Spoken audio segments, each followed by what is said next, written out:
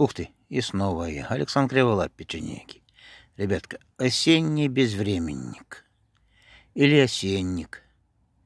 Или осенний крокус. Или колхи, колхикум. Это нежные цветущие растения. Цветет в конце августа или в сентябре. Разводится дочерными луковичками. Посадку производить в августе. Осенний безвременник. Просто красивый.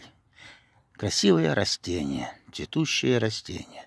Ну все, ребятки, всем пока-пока, до скорого. С вами был Александр Кривола, Печенеги. Пока-пока, ребята.